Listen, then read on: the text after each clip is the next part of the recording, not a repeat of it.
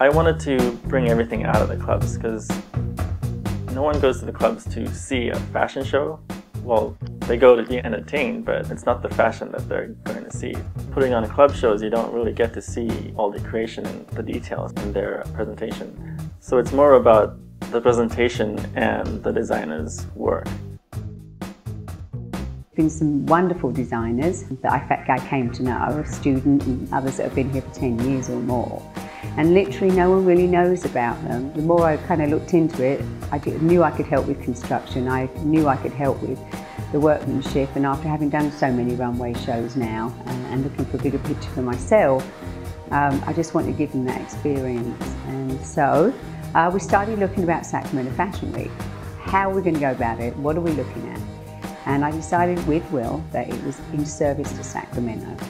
This isn't just about designers and such, this is actually the community coming together to support the talent that's actually in this city and for us to join hands and make it a much better place. What I love about working with Sacramento Fashion Week is I get to work with these designers. Talented, some seasoned ones, some young ones, but I have the opportunity to work alongside with them, creating something that they're creating. And it gives me also that inspiration, that excitement. So that's the thrill about being able to work with designers.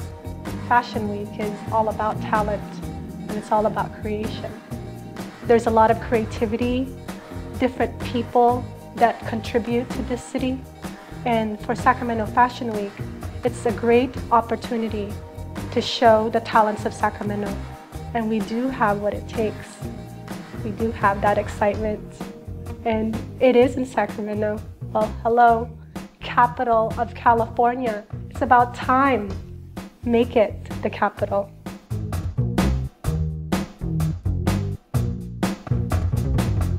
all the interns, the workers, the people involved, they're so dedicated. And it's a great energy to be involved and to be with it. I feel very blessed and honored to be with those kind of people. I think fashion and most fashion designers, a lot of what they do is they like to feel the fabric. And I am all about feel and touch of concrete and wood. I think compositions as like a good classical piece. You know, there's a lot of instruments and it comes together because it has such a great sound. So the same thing with an eclectic design of fashion and art and everything that goes along with SAC Fashion Week will have a melody of cohesion. You know, about a year ago, two guys came to me and said, how'd you like to be part of Sacramento Fashion Week? And I thought to myself, huh? Turns out they were for real. Last year, I remember Sacramento Fashion Week was a really, really big event. And I was excited to cover it for Bay Fashion Magazine. So this year when they came to me, I thought, that sounds like fun.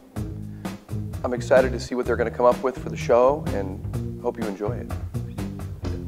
Having a great team surround you makes all the difference in the world, from great styling to great makeup to great hair. And the team that Sacramento Fashion Week has assembled to do these things is top notch. They're as good as anybody in New York or San Francisco. So watch out, Sac Fashion Week is coming.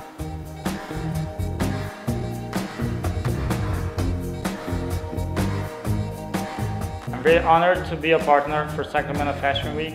I like fashion and I like the challenge. Last year was approached by Micah to cover the event. Of course I said yes, I mean it's the biggest fashion show of the year in my opinion. I feel like this year the production team are definitely taking it to the next level. I know I am. Of course it's the designers, the models, stylists, the organizers who make the show. But without the media, the photographers and the videographers, it's only a local show.